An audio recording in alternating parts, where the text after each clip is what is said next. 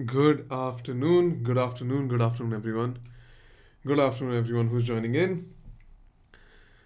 तो जितनी भी बात करी कल तो बहुत सारी बात करी हमने हमारे अपकमिंग कोर्सेज के बारे में हमारी इतनी सारी चीज़ों के बारे में but again to remind you हमारी कुछ नई नई क्लासेस शुरू हुई हैं एक क्लास शुरू हुई है जो हमारी कॉन्स्टिट्यूशनल हिस्ट्री के बारे में है और ये क्लास चल रही है हमारी लेट्स क्रैक में, जो कल हमने ली थी, आज भी हम लेंगे। एंड वो लेते रहेंगे बिकॉज़ वो हमारी कड़ी होगी कनेक्टिंग कड़ी होगी between our history and our polity right and उसी के साथ साथ मेरे बाकी वाले बड़े बड़े जो कोर्सेज हैं, वो भी लॉन्च होने वाले हैं। हमारा जो मोस्ट प्रॉब्ली हमारी जो कॉम्प्रिहेंसिव पॉलिटी की सीरीज़ है, वो ट्वेंटी फ़र्स्ट या ट्वेंटी सेकेंड जनवरी से स्टार्ट हो जाएगी, जहाँ पे मैं आपको पूरी की पूरी जो सुभाष कश्यप है, वो करवाऊँगा। एंड उसी के साथ साथ हमारा ये जो हिस्ट्री की क्लासेस ये तो चल ही रही हैं बट इसी के साथ साथ हमारी दो प्रॉपर प्लस कोर्सेज चलेंगी, जो शुरू होंगी हमारी ट्वेंटी सेवन ऑफ़ जनवरी में, जो हमारी कंप्लीट एन का एक क्रैश कोर्स है, और उसके बाद एक कॉम्प्रिहेंसिव कोर्स है हमारी इंडियन मॉडर्न हिस्ट्री का, जो मार्च से स्टार्ट होंगी। So these are the main time main timings for these अब जहाँ तक बात आ रही है हमारी इन क्लासेस की इन क्लासेस में की टाइमिंग में थोड़ा चेंज होगा क्योंकि आपके सर भी करेंटली मेरे ख्याल से चार क्लासेस ले रहे हैं दिन में। सो so, इसीलिए इस टाइमिंग को भी थोड़ा एडजस्ट कर देंगे हम don't worry about it but now because मैंने आपको बताया था देखो जनवरी के महीने से हम लोग सीरियस होने वाले हैं वही हो हो रहा है अब। अब मेरा जो कंसंट्रेशन है वो स्पेसिफिकली गियर्ड है टुवर्ड्स जो 2023 और 2024 की प्रिपरेशन कर रहे हैं। तो इसीलिए अब मैंने अपनी खुद की रिस्पॉन्सिबिलिटी ली है स्पेशली जो 2023 दे रहे हैं उन लोगों के लिए कि आप लोगों को ये एग्जामिनेशन क्लियर करवाना है। तो उस रिस्पॉन्सिबिलिटी के साथ साथ उसके लिए जितना भी काम करना पड़ेगा वो मैं करूँगा। उसी के साथ साथ ट्वेंटी ट्वेंटी फोर के लिए जितने भी लोग अभी ज्वाइन कर रहे हैं सब्सक्रिप्शन ले रहे हैं, उनके लिए भी मेरी बहुत बड़ी रिस्पॉन्सिबिलिटी ये आती है कि जो फ्यूचर में हमारे जो पूरी मॉडर्न हिस्ट्री की कोर्स होगी जो मैं आपसे करवाऊँगा तो अगेन उसके लिए सारे मॉड्यूल सारी चीज़ें तैयार करना all of that is happening because मैंने ये ठान ली है कि आप में से जो जो लोग ट्वेंटी थ्री ट्वेंटी फोर के लिए प्रिपेयर कर रहे हो और मेरे साथ कर रहे हो, उनकी पॉलिटी और हिस्ट्री इतनी स्ट्रांग हो जाए, उनकी दोनों की अंडरस्टैंडिंग इतनी स्ट्रांग हो जाए कि पहला दिमाग में ये क्वेश्चन आए कि सर प्रिलिम्स के लिए कर रहे हैं तो मेंस के लिए कब करें। यही है। सर जो भी करवाते हैं वो दोनों के लिए करवाएँगे। और दूसरा ये है कि इन दोनों पोर्शन में से जितने भी क्वेश्चन आएँगे, आपका एटलीस्ट नाइन्टी परसेंट कैपेसिटी होगी उन सारी चीज़ों को आंसर करने की। Right right? सर जो भी कोर्सेज होने जा रहे हैं, वो सब class UPSC syllabus full cover कर रहा है या नहीं? बिल्कुल फुल कवर कर रहा है। Rishabh the idea is that ये सारी की सारी चीज़ें फुल्ली चीज़ों को कवर करेंगी। एंड अगेन आज हमारी सीक्रेट एमसीयू क्लब की क्लास नहीं है बिकॉज़ अगेन मैंने आपको बोला ना कि ये तीन चार एडजस्टमेंट्स हो रही हैं। हमारे शेड्यूल के अंदर जैसे ही ये एडजस्ट हो जाएगा then we won't have any issues हमारी secret M C Q clubs भी चलेंगी, हमारा जो कॉम्प्रिहेंसिव कोर्सेज हैं वो भी चलेंगी। स्पेशल क्लास में जो कंप्लीट पॉलिटी का कोर्स है वो भी चलेगा। तो all of this all of this will happen with the basis of your in at the basis of your UPSC syllabus अब कल मैंने इसी टाइम पीरियड पे आपका एक एनसीआरटी का क्लास लिया था और बिकॉज़ आपकी जो स्पेक्ट्रम की क्लास है वो हुई नहीं थी तो मैंने सोचा एक बार स्पेक्ट्रम की क्लास में स्पेशली बिकॉज़ हम रिवोल्ट ऑफ़ 1857 की बात कर रहे हैं। अठारह सत्तावन का ये जो रिवोल्ट है, एक इंपॉर्टेंट टॉपिक है हमारे मॉडर्न हिस्ट्री के लिए बिकॉज़ ये मॉडर्न हिस्ट्री का एक बहुत बड़ा चेंज को मार्क करता है। क्योंकि अभी तक जो मॉडर्न हिस्ट्री हम पढ़ते हुए आ रहे थे, वो ऑलमोस्ट एज अ रिएक्शन पढ़ते हुए आ रहे थे कि ब्रिटिशर्स ये करे जा रहे हैं, ये करे जा रहे हैं, हम सहते जा रहे हैं, सहते जा रहे हैं, सहते जा रहे हैं। तो अब फाइनली वो जो फट के जो वोल के वोल्केनो निकलता है ना, वो था हमारा revolt of 1857 so that is the reason why मैंने सोचा बिकॉज़ वहाँ पे हमारी वो हाफ़ क्लास हो रखी थी ऑलरेडी जिसमें हमने रिवोल्ट को देखा था। आज हम रिवोल्ट को समझने की कोशिश करेंगे आज की क्लास में। अब आप इसी के साथ साथ देखोगे, जैसे यहाँ पे रिवोल्ट की क्लासेस चल रही हैं, उधर जो कॉन्स्टिट्यूशनल हिस्ट्री की क्लासेस चलेंगी, जो हमारी रात, जो हम रात को लेंगे, साढ़े आठ बजे, वो कॉन्स्टिट्यूशनल हिस्ट्री की क्लासेस इसी टाइम पीरियड को मैप करते हुए चलेगा। क्योंकि जैसे वहाँ पे हम रेगुलेटिंग एक्ट की बात करेंगे और फिर उसके बाद वहाँ पे जाके आगे 1858 गवर्नमेंट ऑफ़ इंडिया जो गुड गवर्नेंस का एक्ट है, उसकी बात करेंगे, जो इसी रिवोल्ट की वजह से आया होगा। तो अब आप देख पाओगे कि किस तरह धीरे धीरे हिस्ट्री आपकी पॉलिटी बनती जा रही है पॉलिटी के साथ कनेक्ट होता जा रहा है। जो मैं आपको बताता था हमारे क्लासेस में कि इकोनॉमिक्स पॉलिटी जोग्राफी ये सारी की सारी चीज़ें हिस्ट्री के साथ आप ट्रेस कर सकते हो। That's exactly what is going to happen मेरी क्लास की टाइमिंग्स क्या होंगी, मैं अभी बता दूँगा आपको, पर पहले let's just begin with the topic first ठीक है? जो हमारा रिवोल्ट ऑफ़ 1857 है और दूसरी चीज़ जो आप, मैं आपको हमेशा बताता हूँ कि क्लास की टाइमिंग्स और क्लास का सारा का सारा जो शेड्यूल रहेगा वो आपको टेलीग्राम पे डाल दिया जाता है अगर आप लोगों ने ऑलरेडी आप में से बहुत लोग जो ऑलरेडी टेलीग्राम चैनल में जुड़े हुए हो आपको हमारा पूरा का पूरा हिस्ट्री कोर्स में क्या हो रहा है और पॉलिटी के अंदर क्या हो रहा है ये दोनों चीज़ें आपको पता है अब।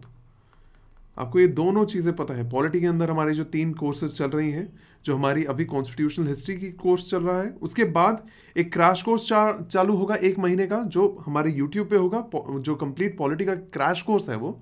और उसके साथ साथ एक कॉम्प्रीहेंसिव कोर्स स्टार्ट होगा जो स्टार्ट होगा हमारी स्पेशल क्लासेस में। Right right? ये स्टार्ट होगा हमारी स्पेशल क्लासेस में। तो पॉलिटी की ये तीन कोर्सेज चलेंगे। उसी तरह हिस्ट्री के तीन दो प्लस कोर्सेज प्लस कोर्सेज चलेंगी।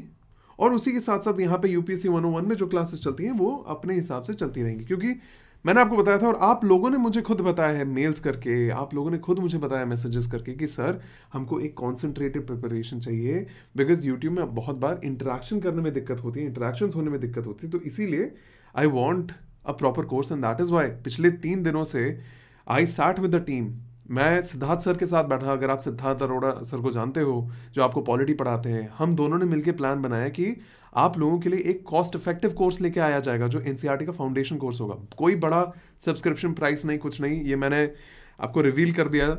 बट ये अभी पिछले, अगले दो दिनों में आपके सामने आ जाएगा। ये कॉस्ट इफ़ेक्टिव कोर्स होगा, जिसमें आपकी पूरी की पूरी जो एनसीईआरटी फाउंडेशन है, वो कुछ ही चंद दिनों में around one and half months के अंदर पूरी कर दी जाएगी, जहाँ पे सिद्धार्थ सर और मैं, हम दोनों मिलकर उसका जो कमान है वो संभालेंगे। उसके बाद आपका जो रफ्तार बैच है, वहाँ पे जो मॉडर्न हिस्ट्री चल रही है, वहाँ पे मैंने खुद बोला है कि जितने भी बच्चों ने रफ्तार का जो सब्सक्रिप्शन लिया है 2023 का जो सब्सक्रिप्शन लिया है, उन बच्चों को पूरी की पूरी मॉडर्न हिस्ट्री मैं कराऊँगा। तो उसका भी मैंने ही भार उठा लिया कि वहाँ पे जितने भी बच्चे हैं, जिन्होंने भी हमारा सब्सक्रिप्शन कोड यूज़ करके किया है subscription all of this will be done by me and उसी के साथ साथ आप लोगों को जिनको पॉलिटी की ज़रूरत थी पॉलिटी कॉम्प्रिहेंसिव क्लासेस की ज़रूरत थी वो पूरी की तरह अभी ये एक ही बैच होगा जो कंप्लीटली फ्री चलेगा। ठीक है? ये जो पॉलिटी का बैच होगा जो हम स्पेशल क्लासेस में चलेंगे कंटिन्यूसली अराउंड ढाई महीने का कोर्स है वो जिसमें पूरी की पूरी सुभाष कश्यप बेयर आर्ट्स के साथ कंप्लीट करेंगे। कोई कुंजी अप्रोच नहीं कोई एन uh, की समरी नहीं कोई लक्ष्मीकांत की समरी नहीं नहीं। प्रॉपर कॉम्प्रिहेंसिव वे में कॉन्स्टिट्यूशन को समझते हुए पॉलिटी को समझते हुए उस चीज़ को करेंगे। Right right? तो आगे बढ़े फिर। Let's go ahead from here अब इससे पहले हमने जो बात करी थी, वो बात करी थी हमारी रिवोल्ट ऑफ़ 1857 के बारे में। और रिवोल्ट ऑफ़ 1857 के लिए हमने एक छोटा सा टाइमलाइन डिसाइड किया था। Sir why we add word lord in front of many Britishers ये जो लॉर्ड होता है ना, ये एक टाइटल की तरह होता है। जैसे हमारे कुछ लोगों के पास डॉक्टर एज अ टाइटल होता है। आर्किटेक्ट एज अ टाइटल होता है। उसी तरह लॉर्ड भी एक टाइटल होता है और ये लॉर्ड इनको टाइटल बेसिस दिया जाता है कि उनका रैंक क्या था उस बेसिस पे। अब बहुत सारे लोगों को लॉर्ड नोबिलिटी के हिसाब से मिलता था। नोबिलिटी एज इन वो किसी रॉयल फैमिली को बिलोंग करते थे तो उनको तब लॉर्ड टाइटल मिलता था। या उनकी प्रमोशंस होती थी इन टाइटल में। पहले वो बैरन होते थे, फिर उसके बाद अर्ल बनते थे, फिर मार्किस बनते थे, और उसके बाद फिर वो लॉर्ड की सर बनते थे लॉर्ड बनते थे, ये सारे टाइटल्स होते थे इनके। जो इनके पोजिशंस को दर्शा, दर्शाते हैं। राइट सो चले आगे। Let's talk about our timeline अब हमारा जो टाइमलाइन है, ये तो मुझे बताने की ज़रूरत नहीं है। आपको पता है, औरंगज़ेब जी हैं। औरंगज़ेब के साथ साथ ही उनका जब कॉन्सेंट्रेशन मराठास के ऊपर लगा हुआ था औरंगज़ेब का जब कॉन्सेंट्रेशन मराठास के ऊपर लगा हुआ था उसी टाइम पे ब्रिटिशर्स जो कर रहे थे, वो अपना दबदबा बना रहे थे। एंड इस दबदबे को हमने देखा by the time we reach 1857 Britishers ने जितने भी फॉरेन कंट्रीज़ थी, उनको हटा दिया। फॉरेन पावर्स थी, उनको हटा दिया। और अंदर इंडिया के अंदर जितना भी पावर था, जो हमारे लोकल रेसिडेंट्स थे, जैसे मैसूर हो गया मराठास हो गया सिंध हो गया सिख हो गया अफगान हो गया, इनको भी हटा दिया। बचे जो छोटे छोटे प्रोविंसेस जो स्ट्रेटेजिक एरिया में थे, उनके साथ सब्सिडरी अलायंस कर लिया। सब्सिडरी अलायंस कर लिया। क्योंकि देखो, क्या हो रहा था वहाँ पे? ब्रिटिश के पार्लियामेंट में, उस टाइम पीरियड में बात चली थी फ्री इकोनॉमी की। बात चल रही थी फ्री ट्रेड की। तो ब्रिटिशर्स को, यहाँ पे जो हमारे मर्चेंट ब्रिटिशर्स बैठे थे, वहाँ से जो खत आ रहे थे इन लोगों को ब्रिटिश क्राउन के पास से, कि जो ट्रेड होगा, वो ट्रेड फ्री मार्केट इकोनॉमी के हिसाब से चलेगा मार्केट को मैन्युपुलेट नहीं किया जाएगा। ऐसी बात चल रही थी। क्यों? बिकॉज़ वहाँ पे भी लोग बैठ के उनको भी चिड़ मच रही थी कि ये ब्रिटिश ये जो अपनी ब्रिटिश ईस्ट इंडिया कंपनी है, करप्शन के नाम पे इतना ज़्यादा पैसा खा रहे हैं ये लोग, ट्रेड रेगुलेशन के नाम पे इतने, इतनी सारी प्रॉब्लम्स क्रिएट कर रहे हैं कि इनको रेगुलेट करना ज़रूरी है। तो उन्होंने उधर बोल दिया कि फ्री फ्री ट्रेड पॉलिसी चलेंगी। तो फिर इधर यहाँ पे जो मेरे ब्रिटिशर्स बैठे हुए थे, ब्रिटिश ईस्ट इंडिया कंपनी के, जो अब धीरे धीरे नवाब बनते जा रहे थे, नवाब बनते जा रहे थे तो उन्होंने सोचा कि यार, पैसे अगर हमको कमाने हैं ज़्यादा तो ट्रेड को मैनिपुलेट तो नहीं किया जाएगा। एंड बिकॉज़ अब ट्रेड को मैनिपुलेट नहीं कर सकते हैं तो किस चीज़ को मैनिपुलेट करें? तो इनके दिमाग में आया लैंड रेवेन्यू मैनिपुलेट करेंगे, दीवानी राइट्स लेंगे लैंड रेवेन्यू मैनिपुलेट करेंगे और लैंड रेवेन्यू से पैसा कमाएँगे। और यही था, यही ट्रांजिशन था इनका from a merchant company to an administrative company because अब ये लोग ज़मीन की बात करने लगे थे। अब ये लोग बात करने लगे थे कि ट्रेड से नहीं टैक्सेशन से पैसा आएगा। और वो शुरू कहाँ से हुआ था? 1765 का जो ट्रीटी ऑफ़ अलाहाबाद साइन किया था उन्होंने बैटल ऑफ़ बक्सर के बाद, वहाँ से इनका ये आइडिया शुरू हो गया था। अब देखो, इस टाइम पीरियड में ऐसा तो नहीं है कि पूरी की पूरी British East India company as a single person function कर रही है। वो तो आपने अफगान बैटल के टाइम पे देख भी लिया था कि इधर की हमारी जो बॉम्बे की गवर्नमेंट थी, ये थोड़ी और ज़्यादा उत्सुक उत्सुक हो रही थी। कि हमको भी थोड़ा आ, ऐसा प्राइज मिले थोड़ा हम भी ऐसे ये जो डुअल गवर्नमेंट सिस्टम उधर चल रहा है हमको भी थोड़े पैसे मिले हम भी कुछ करें।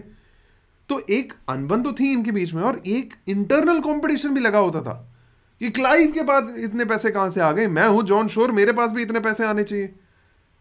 तो ये एक इंटरनल कंपटीशन करप्शन ये सारी की सारी चीज़ें अंदर ही अंदर चल रही थी। और इसी की वजह से हम देखते हैं कि इनका जो लालच है वो और बढ़ता जा रहा था। अब हमने बात करी थी कि लोगों का क्या कंडीशन हो रहा था यहाँ पे। जमींदारी सिस्टम आई, महलवारी सिस्टम आया रिवोतवारी सिस्टम आई, और इन सब में लैंड रेवेन्यू इतना ज़्यादा कर दिया गया कि जो मेरे लोकल लोग थे, उनके पास खाने के लिए, खाना पहनने के लिए कपड़े और रहने के लिए घर भी जुटना मुश्किल हो गया। जो इतने सालों से जमींदारों के अंडर काम कर रहे थे अपने हिसाब से काम करा जा रहा था, मैं ये नहीं कह रहा कि उनका कंडीशन बहुत अच्छा था उस टाइम पीरियड में भी। बट फिर भी बट फिर भी कुछ तो मिलता था बट जैसे ही ये लोग आ जाते हैं ब्रिटिशर्स इस टाइम पीरियड पे, इनके आने के बाद ही इनका पूरा का पूरा सिस्टम उलट पलट कर दिया जाता है। जमींदार को बोला जाता है परमानेंट सेटलमेंट के अंदर कि तुम लोग 89 परसेंट रेवेन्यू हमें दोगे, बाकी 11 परसेंट का तुमको जो करना है तुम कर लो, हमको नहीं देखना है। अब जमींदार भी ठहरे गिरीडी, उनको भी लालच है वो कितना ही शेयर करेंगे हमारे पेजेंट्स के साथ।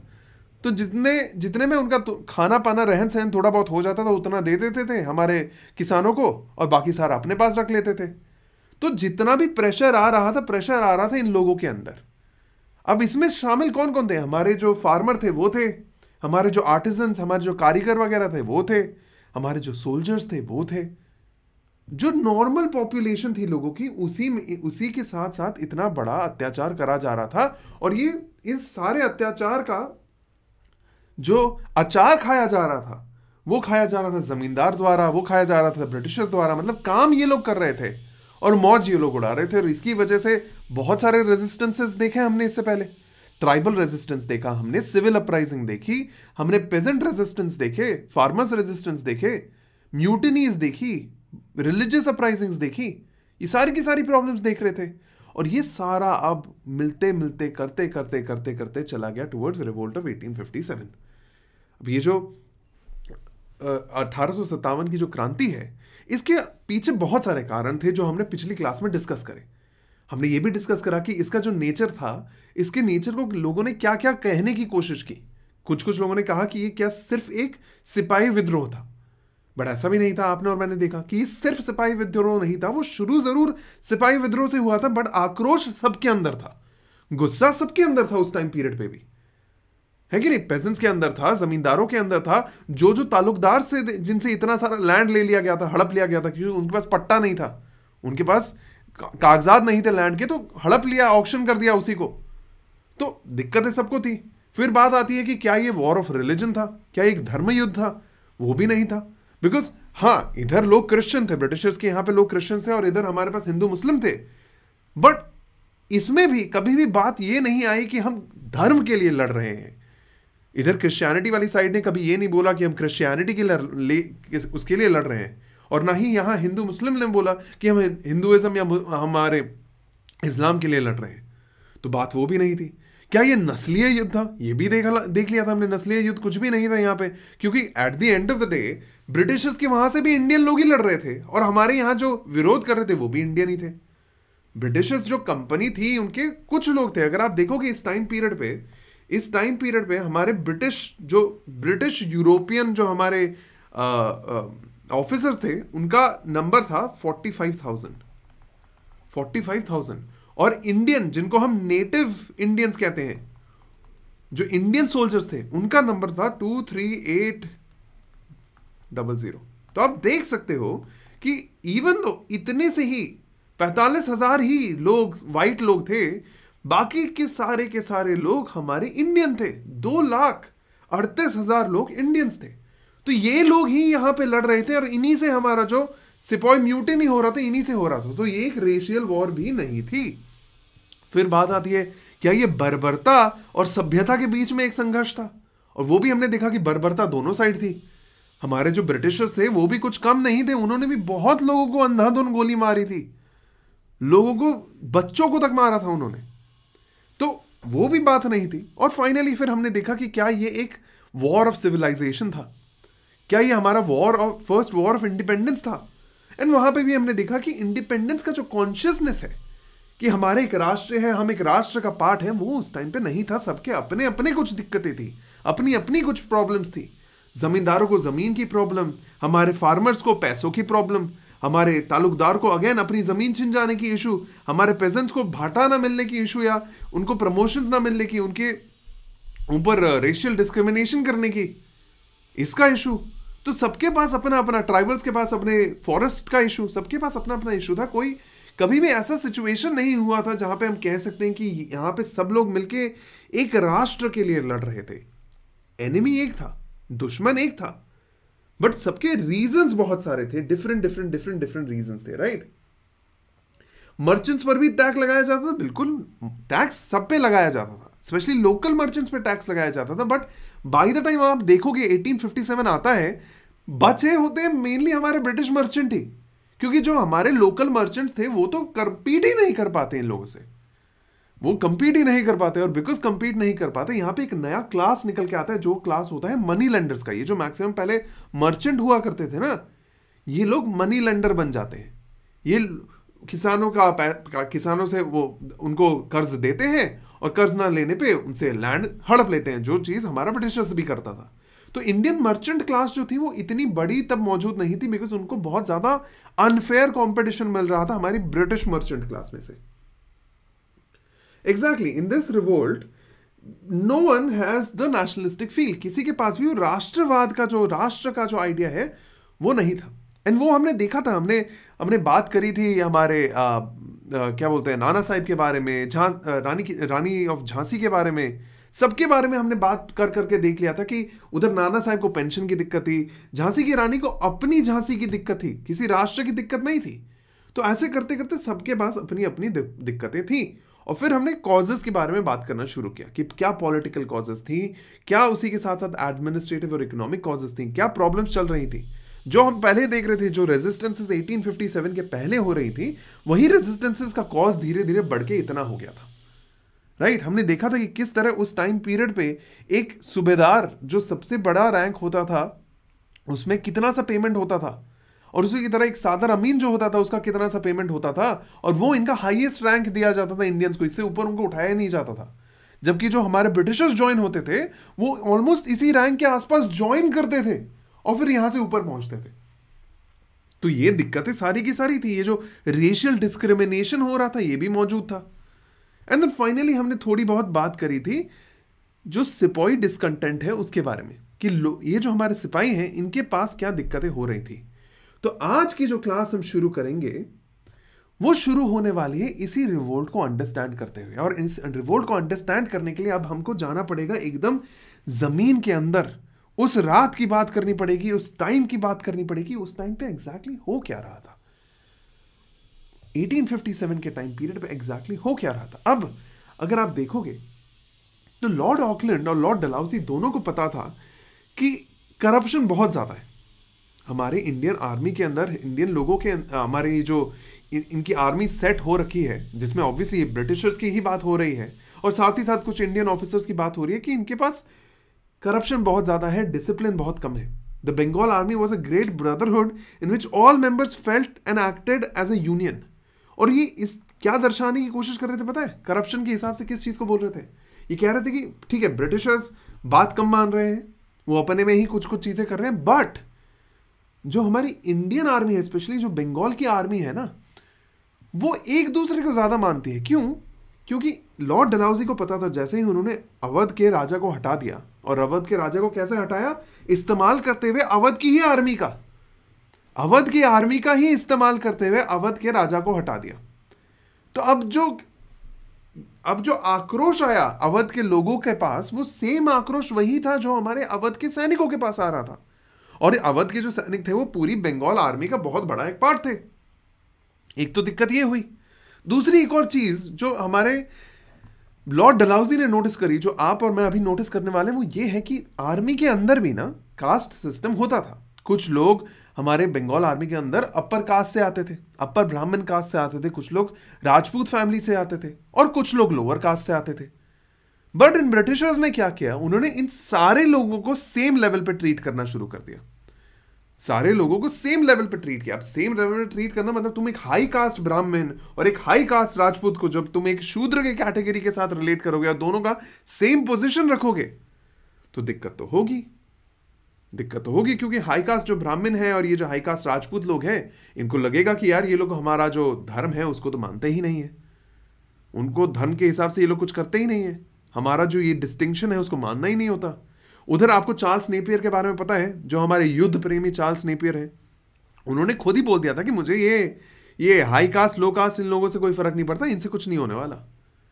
ये जो ब्रिटिश नेटिव ब्रिटिश आर्मी है, इनसे कुछ होने नहीं वाला right so again the problem was that इन लोगों के दिमाग में एक चीज़ सेट थी कि इंडियंस के पास डिसिप्लिन नहीं है इंडियंस के पास कमांड फॉलो करने की आदत नहीं है और इनको बड़ा प्रमोशन नहीं दिया जा सकता, चाहे वो किसी भी टाइप का इंडियन हो। हाई कास्ट इंडियन हो लो कास्ट इंडियन हो, कोई भी हो, इनको कुछ भी नहीं दिया जाएगा। तो ये एज अ होल इंडियंस को डिसरिस्पेक्ट करते थे। और यहाँ पे हमारे ठहरे कास्ट वाले लोग जो बोलते हैं कि भाई, हमको तुम उनके साथ कैसे तुलना कर रहे हो? हम तो थोड़े और ऊँचे अहदे वाले हैं बट अगेन कोई फ़र्क नहीं पड़ा। तो एक रिलीजियस डिसकंटेंट तो ऑलरेडी था। अब आगे देखते हैं। अगर हम मिलिट्री डिसकंटेंट के और रीजन देखें तो पहला रीजन तो मैंने आपको बता दिया कि ये जो रिलीजियस डिस्क्रिमिनेशन था, ये हमारे ब्रिटिशर्स नहीं मान रहे थे। दूसरा आता है कि the Bengal army is rebellious mood and brotherhood for other जो जैसे ही उन्होंने अवध के राजा को हटा दिया, जो एक्चुअली में अच्छे अच्छे राजा थे, इतने भी बुरे नहीं थे और अवध के लोग उनको मानते थे। तो जैसे ही उनको ब्रिटिशर्स ने हटा दिया तो एक ऑलरेडी एक आक्रोश का जो माहौल ऑलरेडी था ब्रिटिशर्स के अगेंस्ट वो और ज़्यादा तीव्र हो गया, वो और ज़्यादा तेज हो गया। इसकी वजह से क्या होता है, अब जितने भी अवध के सैनिक सिपाही लोग हैं, जो अवध के लोग हैं, वो इन्हीं के घर के तो भाई बच्चे हैं। तो अब इनको भी दिक्कतें होने लगी, और ये फिर अपनी जो लार्जर बंगाल आर्मी है, उससे भी बात करने लगी भाई देखो मेरे घर पे क्या हो रहा है। वहाँ पे हमारे ब्रिटिशर्स ने हमारे राजा को हटा दिया। राजा को हटाने के बाद अब हमसे बहुत सारा टैक्स ले रहे हैं, ये कर रहे हैं, वो कर रहे हैं। तो फिर बंगाल वाले जो बाकी इन्फेंट्री के लोग थे, वो भी हाँ भाई, ये तो बहुत गलत कर रहे हैं ब्रिटिशर्स। ये देखो, बंगाल में भी ऐसा ही किया इन लोगों ने। हमारी गवर्नमेंट को हटा हटा दिया, दीवानी अपनी ले ली और इतना इतना टैक्स लिए जा रहे हैं। तो एक भाईचारा सा आने लगा था हमारे अवध और बंगाल आर्मी के बीच में। और ये एक इंटरनल भाईचारा है जो इनके अगेंस्ट आ रहा है। ब्रिटिशर्स के अगेंस्ट आ रहे हैं। एक रेजिमेंट का जो अवध का रेजिमेंट है और एक दूसरे रेजिमेंट, जो बंगाल का रेजिमेंट है, वो अपने में ही इनकी घनिष्ठता बढ़ती जा रही थी। और ये ब्रिटिशर्स ये चीज़ को नोटिस कर पा रहे थे। फिर आगे देखते हैं। The extension of British dominion in India had adversely affected the service conditions of the सिपाहीज they were required to serve in areas away from their homes without the payment of extra भाटा अब ये भाटा का जो situation है, इसको थोड़ा सा समझते हैं कि होता क्या हमने, आप लोगों ने कहीं ना कहीं पढ़ा होगा कि इनको भाटा देना बंद कर दिया। भाटा का सिस्टम क्या था, मैं आपको बताता हूँ। भाटा क्या होता था कि आप लोग कभी भी किसी और जगह पे आपकी रेजिमेंट अगर जाती है फ़ंक्शन करने के लिए तो उनको कुछ एक्स्ट्रा पेमेंट दिया जाता है, जो ये आना, जाना ट्रैवल करना, लड़ना, वापस आना, इन सारी चीज़ों के लिए उनको एक एक्स्ट्रा पेमेंट दिया जाता था।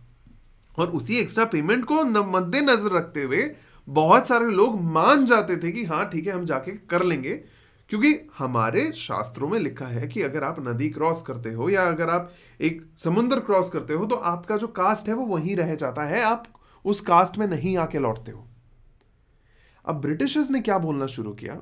उन्होंने जब स्पेशली जब लॉर्ड कैनिंग का जो जनरल सर्विस एनलिस्टमेंट एक्ट आया उस जनरल सर्विस एनलिस्टमेंट एक्ट में लॉर्ड कैनिंग ने कहा कि जितने भी अब फ्यूचर रिक्रूट्स होंगे, जितने भी फ्यूचर रिक्रूट्स होंगे, जो अब रिक्रूट जिनको किया जाएगा 1856 के बाद, उन सबको एक अंडरटेकिंग देनी पड़ेगी कि हम कभी, जहाँ पे भी हमारी ब्रिटिश गवर्नमेंट हमको भेजेगी, हम वहाँ जाने को राज़ी हैं। और उस अंडरटेकिंग में उनको फॉरेन अलाउंस नहीं दी जाएगी। नहीं दी जाएगी और उनको सर्विस करना पड़ेगा। वो अंडरटेकिंग साइन करनी पड़ेगी तभी उनको लिया जाएगा। अब देखो हमारी जो एग्जिस्टिंग लोग थे जो एग्जिस्टिंग सिपाही थी इनके ऊपर ये लागू नहीं था। ये फ्यूचर सिपाहियों के ऊपर लागू था। बट भाई ये जो इन, हमारे यहाँ पे जो एग्जिस्टिंग सिपाही थे इन लोगों के लिए ये जो जॉब था ये जो सोल्जर का जो जॉब था ये हेरिडेटरी होता था। मतलब अगर फादर आपके आर्मी में है ब्रिटिश ईस्ट इंडिया कंपनी की आर्मी में है तो मोस्ट प्रॉब्ली क्या होता था, जब वो रिटायर करते थे, उनका बेटा आर्मी में एनलिस्ट होता था। वो एक हेरिडेटरी पोजिशन था। बट अब तो फिर उनको दिक्कत आएगी, क्योंकि अब उनके बच्चे को जाके ये डिक्री साइन करनी पड़ेगी कि जहाँ पे भी जाके अगर आपकी ब्रिटिश ईस्ट इंडिया कंपनी बोलेगी आपको सर्व करने के लिए आपको जाके सर्व करना पड़ेगा। तो फिर आप बोलोगे सर फिर ये लोग मना क्यों नहीं करते थे? भाई, इन्होंने ब्रिटिशर्स ने एक और कंडीशन रखी थी यहाँ पे। वो रखा था कि अगर आप फॉरेन सर्विस करने के लिए अनफिट हो तो आपको रिटायरमेंट में पेंशन नहीं दी जाएगी। मतलब अगर आप फॉरेन सर्विस नहीं करोगे तो आपको रिटायरमेंट में पेंशन नहीं दी जाएगी। तो अब इनके सामने ये दिक्कत ये खड़ी कर दी गई कि अगर आपको सर्विस में एनलिस्ट करना है तो आपको कहीं पे भी जाके सर्विस देनी पड़ेगी। और अगर आप वो देते हो तो इधर रिलीजन हमारा कहता है कि जैसे हम, क्या हुआ था? सिंध, जो हमारा सिंध अफगान वॉर हुआ था उस टाइम पे जब लोग गए थे अफ़गानिस्तान लड़ने के लिए, जब वो वापस आए 1839-41 के टाइम पे जब वापस आए, उन लोगों को कहा गया कि इन लोगों का कास्ट नहीं है। ये लोग कास्टलेस लोग हैं। तो एक रिलीजन के नाम पे भी एक दिक्कत शुरू हो गई इनके पास। राइट रिलीजन के भी नाम पे एक दिक्कत हो गई। ऊपर से पैसे नहीं दे रहे ये लोग। भाटा जो होता था फॉरेन अलाउंस जो होता था, वो नहीं दे रहे। And that was the whole idea behind भाटा। अब यार ये जो सोल्जर वगैरह थे ये आते हैं उस टाइम पीरियड से ये जो 1857 के जो हमारे सिपाही वगैरह हैं 56 57 के इन्होंने कितनी बड़ी बड़ी बातें सुनी थी हमारे आ, हिस्ट्री के बारे में कि उस सोल्जर ने उस मुगल एम्पायर के साथ ऐसा अच्छा अच्छा काम किया तो उनको इतनी बड़ी जागीर दे दी गई इतना बड़ा लैंड दे दिया गया राजा ने बुलाया उनको उनको बहुत उनकी सराहना की। तो ये जो मोटिवेशन होता था वो पूरा का पूरा मोटिवेशन ही निकाल दिया हमारे ब्रिटिशर्स ने। सराहना तो दूर की दूर की बात, उनको कोई प्रमोशन नहीं दिया जा रहा है, कोई पैसे नहीं दिए जा रहे हैं।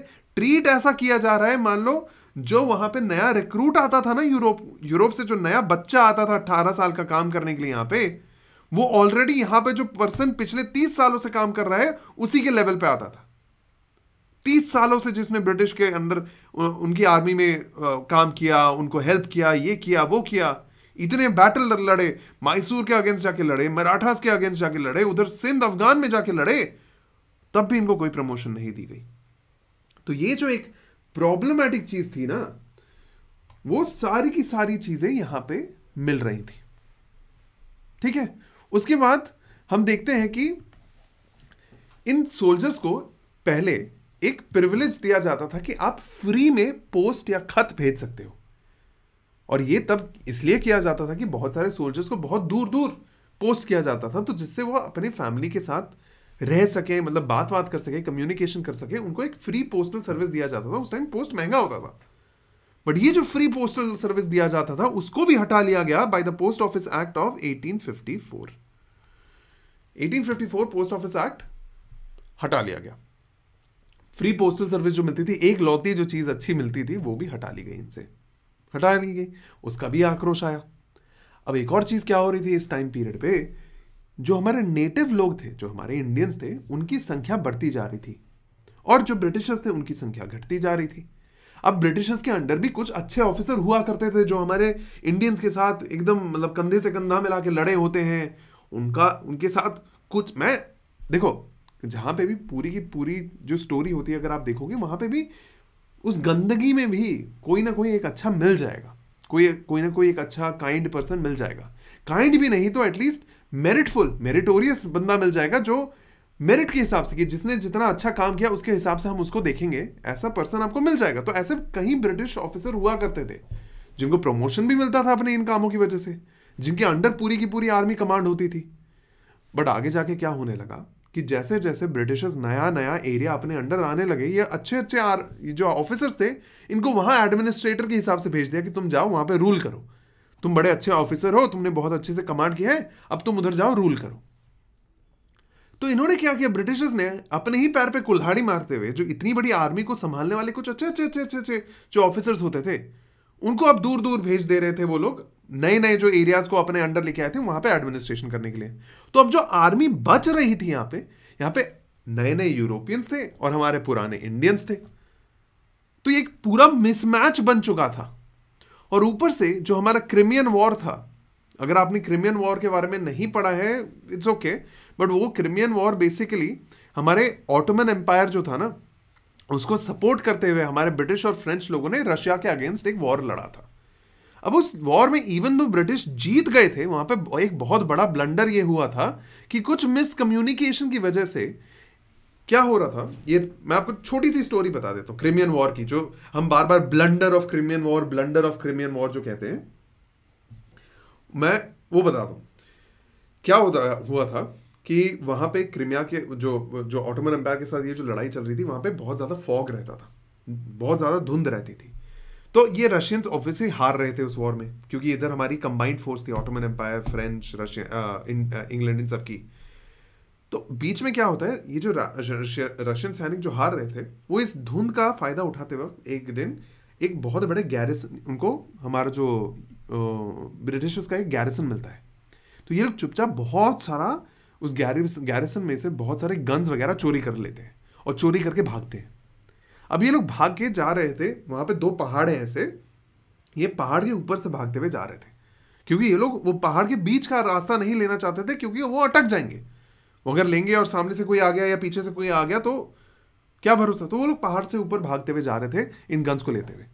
और फिर हमारे ब्रिटिशर्स वहाँ के जो कमांडर थे, उन्होंने बोला कि नहीं नहीं नहीं, हम उनको भागने नहीं देंगे। हम इनको जाके पकड़ेंगे, हमारे पास घुड़सवार हैं, इतने लोग हैं। और उस टाइम क्या हुआ था ना, ये जो हमारी इन, जो कैवलरी थी, जो लाइट कैवलरी और इन्फेंट्री थी, इनका बहुत मज़ाक उड़ाया जाता था, क्योंकि घोड़ों का इतना इस्तेमाल हो नहीं रहा था वॉर्स में। तो वो लोग ऐसे ही खड़े रहते थे, बैठे रहते थे।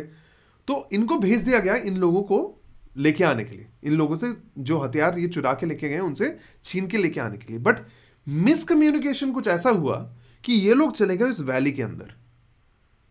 और इन रशियंस को बिलीव ही नहीं हुआ, भाई ये ये क्या, ये तो मतलब खुली मछली है यहाँ पे। और फिर फाइनली इन लोगों ने इनके ऊपर अटैक कर दिया। ऊपर से करीबन चार सौ से छः सौ लोग गए थे उस वैली के अंदर और सिर्फ़ दो सौ लोग ही ज़िंदा बचे थे।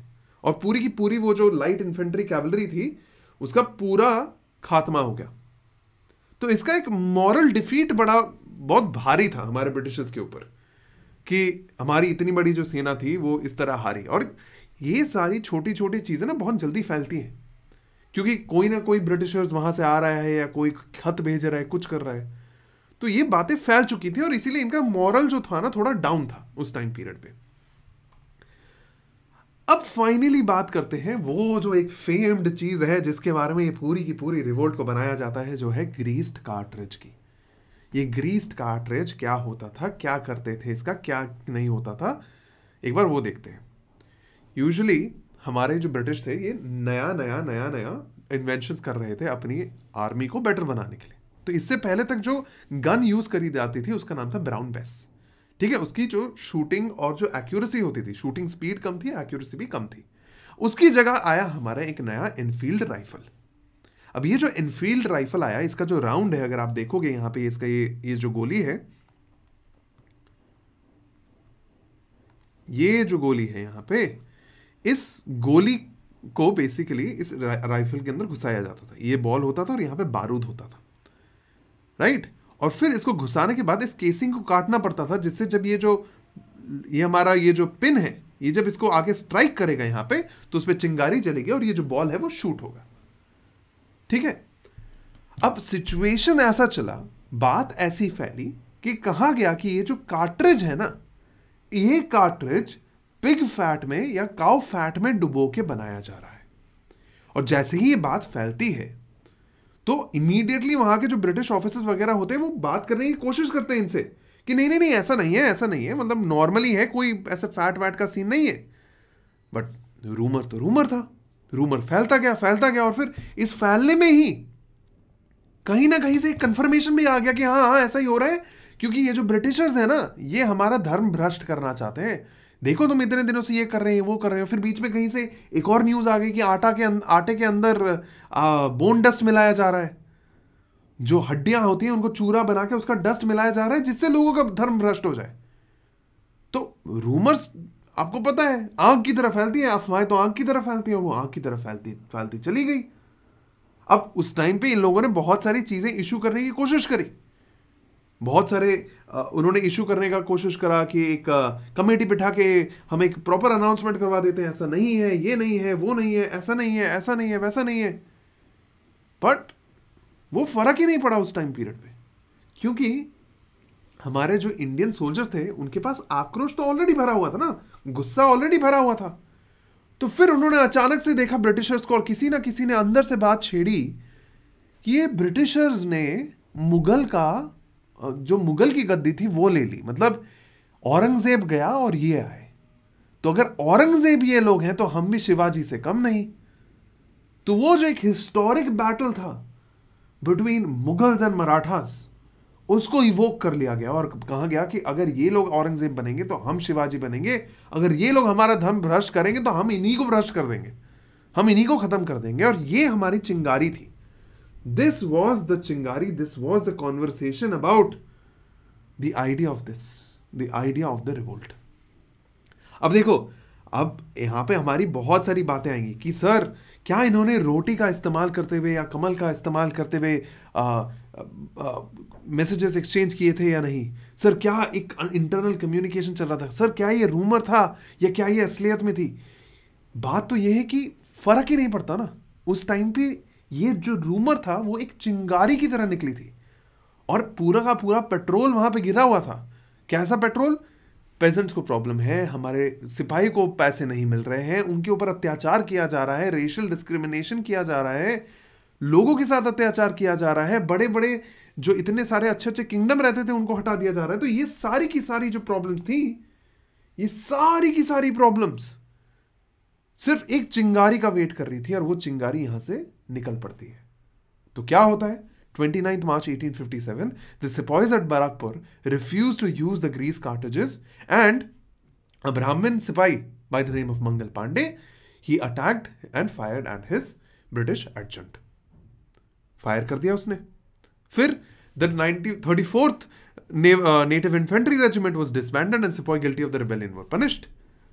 यहाँ पे एक रिबेलियन हुआ, मेरठ में मई में एक और रिबेलियन शुरू हो गया। 85 sipahis of the cavalry regiment on refusal of using grease cartridges were court martial क्योंकि वो डायरेक्ट ऑर्डर फॉलो नहीं कर रहे थे, उनको कोर्ट मार्शल कर दिया, फिर उनको जेल में डाल दिया। उनको जेल में डाल दिया तो उनके अगेंस्ट एक और रिवोल्ट हो गया, और रिवोल्ट के चलते इन यहाँ पे इस, यहाँ पे और जितने रेजिमेंट्स थे मेरठ के अंदर, उन्होंने रिवोल्ट करके इनको बाहर निकाल दिया और ब्रिटिशर्स को मार दिया।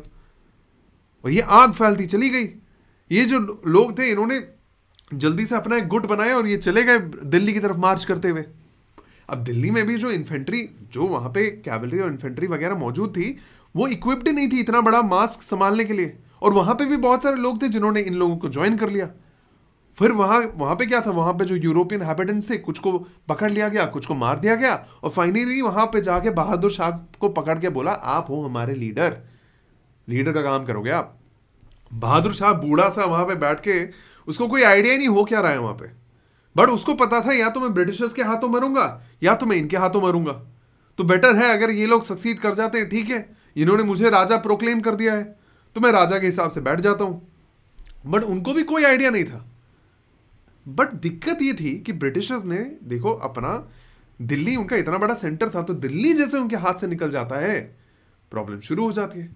और ये प्रॉब्लम ब्रिटिशर्स को तो अब धीरे धीरे टाइम लगने वाला है थोड़ा सा बट उस टाइम पे इलेक्ट्रॉनिक टेलीग्राफ शुरू हो गया था। इलेक्ट्रॉनिक माध्यम से टेलीग्राफ भेजना इजी था मतलब कम्युनिकेशन लाइंस इजी हो गई थी। तो ब्रिटिश भी जल्दी से अपना जो पूरा का पूरा जो आर्मी है, उसको असेंबल करने में लग जाती है। इतनी ही देर में क्या होता है, हमारा जो लखनऊ वाला एरिया है, उसमें भी एक इंसरेक्शन शुरू हो जाता है, जहाँ पे हमारे ये लखनऊ इलाहाबाद कानपुर, बरेली, बनारस, हर जगह पे छोटी छोटी छोटी छोटी ये हमारी घटनाएँ घटने लगती हैं, जहाँ ब्रिटिशर्स को, ब्रिटिशर्स के अगेंस्ट लोग, सिपाही, आपके फार्मर्स ये सब लोग अटैक कर देते हैं। ठीक है? और वहाँ पे ये लोग अपने आप को होल्ड बैक करने की कोशिश कर रहे थे। जितना हो सके अपने आप को बचाने की कोशिश कर रहे थे। बट ये जो, आपका अगर आप देखोगे मैप में, ये जो कॉन्सेंट्रेशन था मेरा, वो मोस्टली मेरे इसी एरिया में कॉन्सेंट्रेटेड था। इतने से एरिया में ही कॉन्सेंट्रेटेड था मेरा मेन जो रिवोल्ट था। हाँ कुछ कुछ चीज़ें नीचे की तरफ़ हो रही थी कुछ कुछ चीज़ें नॉर्दर्न नॉर्दर्न एरिया की तरफ़ हो रही थी बट मेन एरियाज़ मेरा यही था।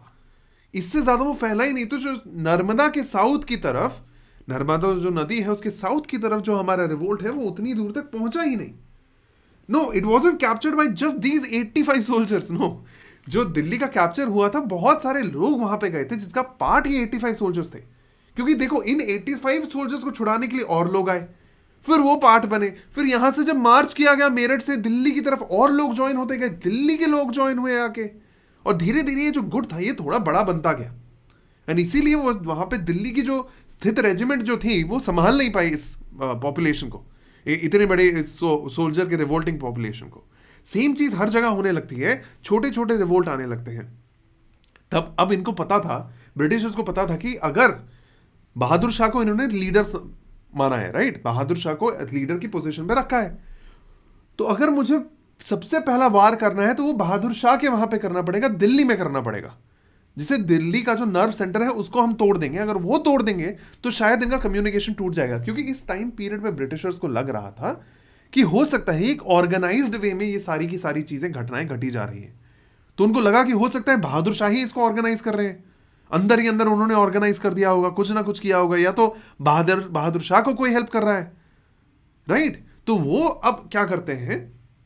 पंजाब से अपनी पूरी आर्मी को उठाते हैं, इधर और अपनी आसपास की आर्मीज को उठा के दिल्ली पहुँच जाते हैं and despite the fact that the Indian army gave some resistance the English capture Delhi in September 1857 September 1857 Delhi was captured सिर्फ़ कैप्चर्ड नहीं बहादुर शाह के सामने, बहादुर शाह के दो बेटे और एक पोते को वहीं गोली मार दी गई, वहीं मुगल एम्पर की पूरी लाइन खत्म कर दी गई।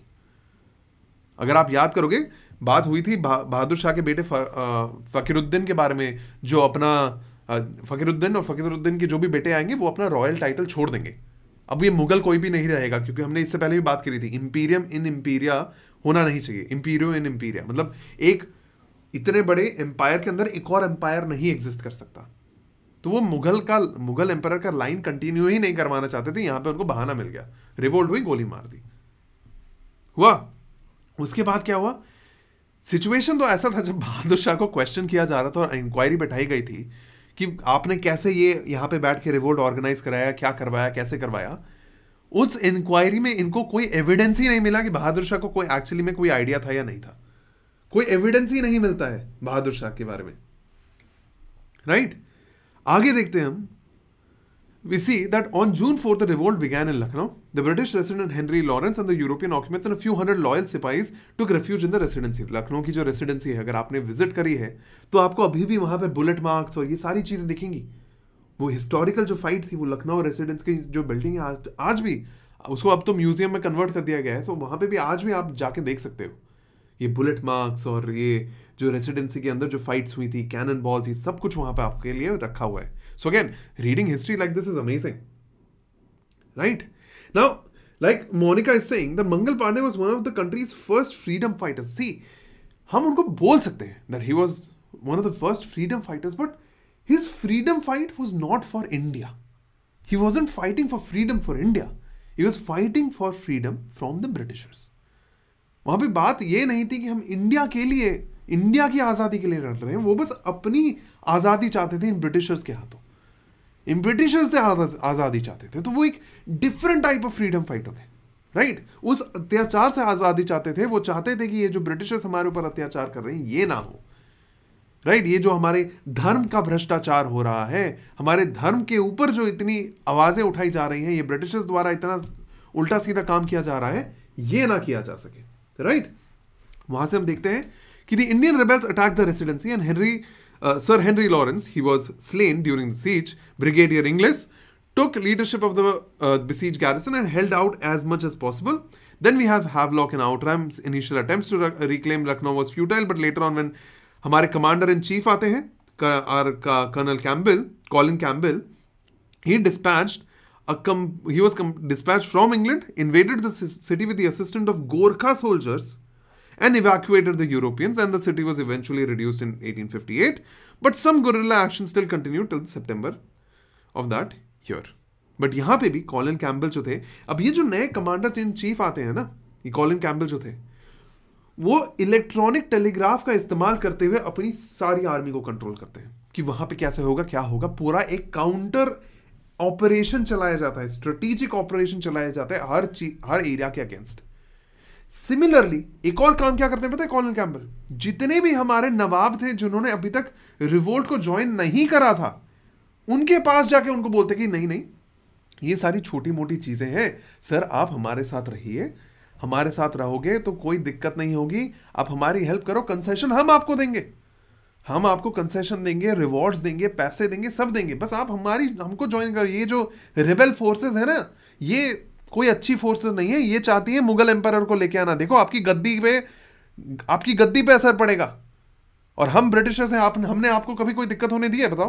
कभी दिए नहीं दिए ना? तो आप हमारी साइड में रहिए। इनफैक्ट एक टाइम पे हमारे जो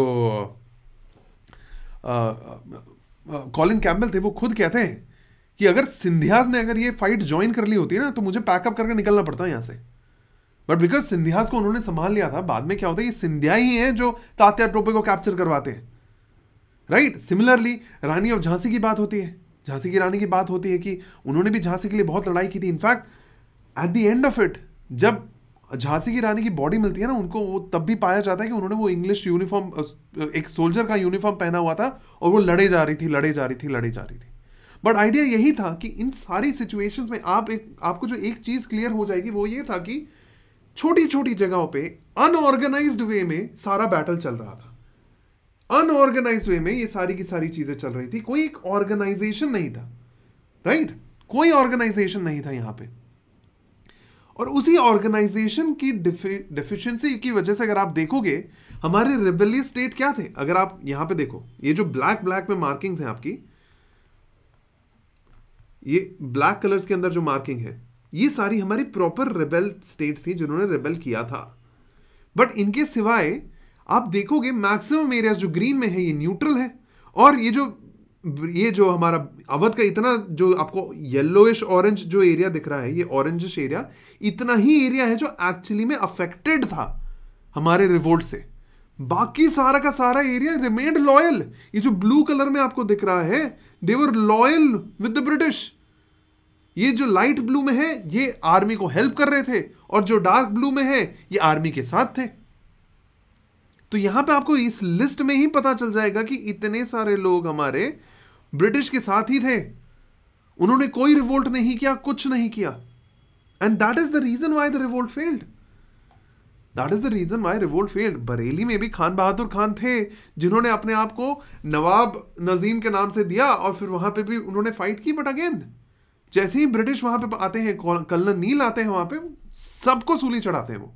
सबको। तो अगर आप आप और मैं यहाँ पे देखें द आइडिया बिकम्स दैट अगर ये प्रॉपर एक ऑर्गेनाइज रिवोल्ट हुआ होता तो शायद हम, हो सकता है हम जीत जाते बट वहाँ पे भी आपको एक चीज़ ध्यान में रखनी पड़ेगी कि ब्रिटिश के पास एक बहुत बड़ी सुपीरियर आर्मी तो है ही, साथ ही के साथ एक बहुत सुपीरियर नेवी भी है।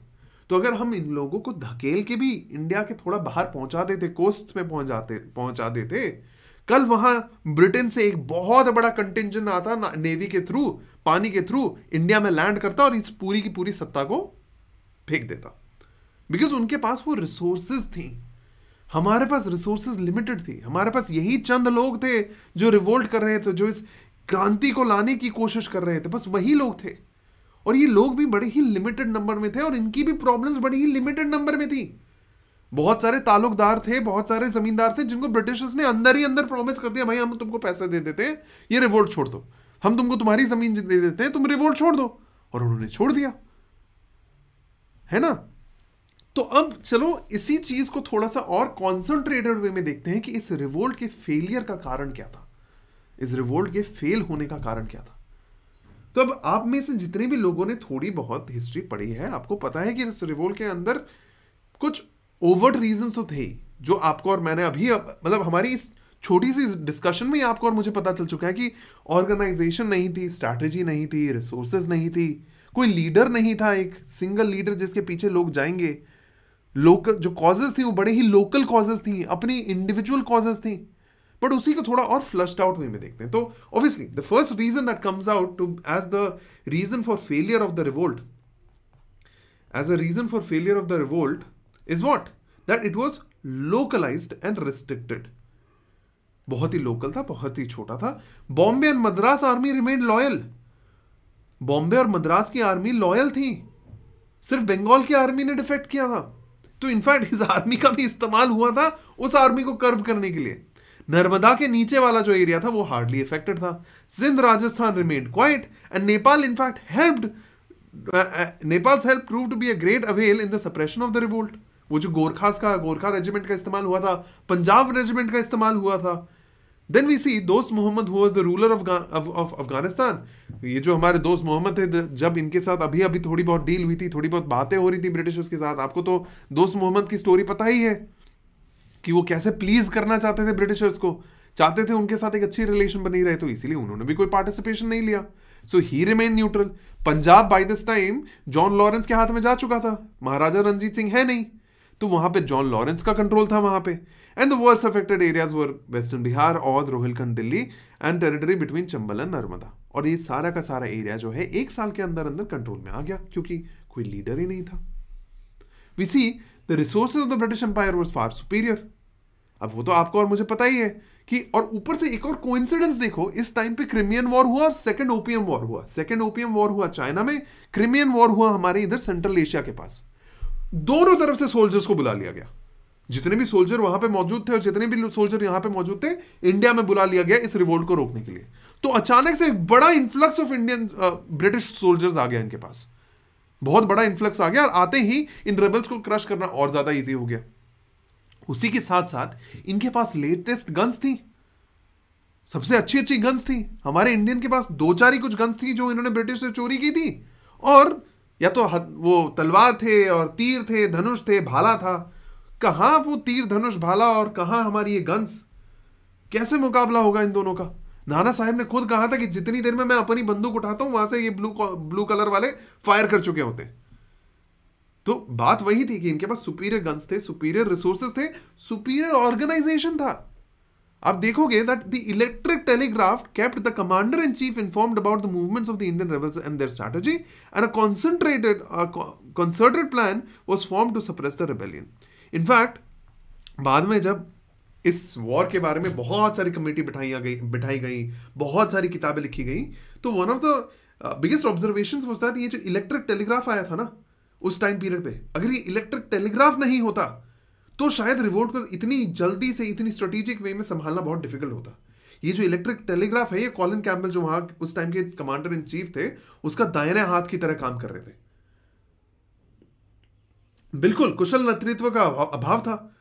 और एक कुशल नेतृत्व का अपार रूप में मौजूद था वो हमारे ब्रिटिशर्स के पास। कॉलिन कैम्बल थे, लॉरेंसेस थे, ये सारे लोग थे जो ट्रेंड थे बैटल ट्रेंड थे स्ट्रैटेजी ट्रेंड थे। इनके पास स्ट्रैटेजी थी कि कैसे हम जाएँगे, कैसे इनको पकड़ेंगे, कैसे कैप्चर करेंगे, कितनी कम से कम रिसोर्सेज का इस्तेमाल करते हुए ज़्यादा से ज़्यादा इन लोगों को अपने अंडर लेके आएँगे।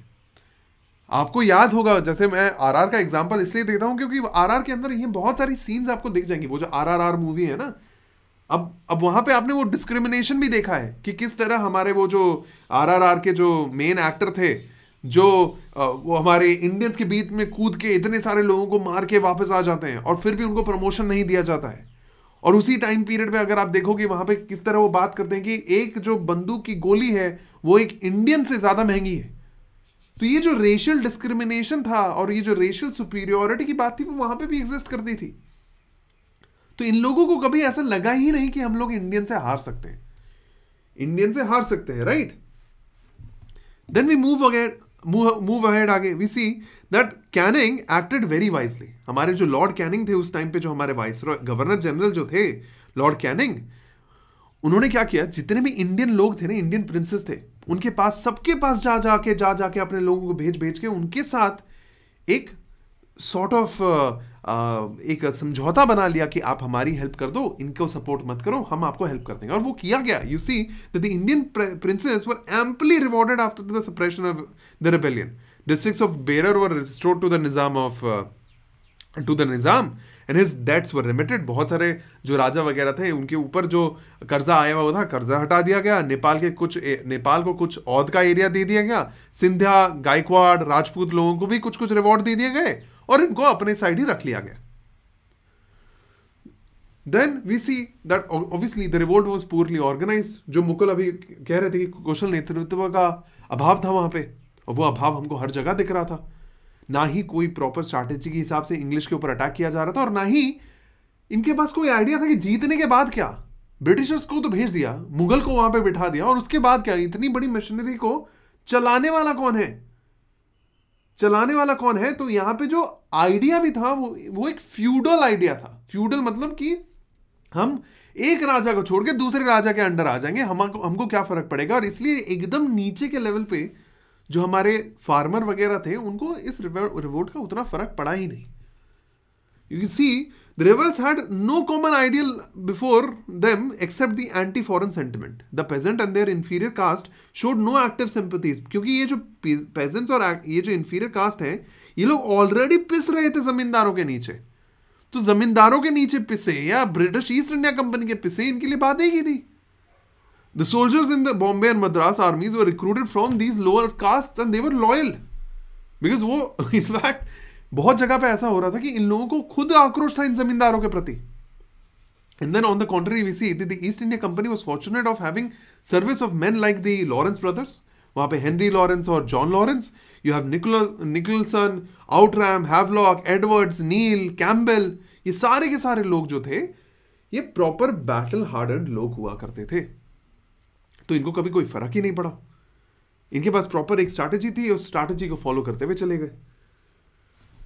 यहाँ तक कोई डाउट आ रहा है किसी को? आज सर ने बहुत देर तक कंटिन्यूस कंटिन्यूस सब कुछ बोल दिया।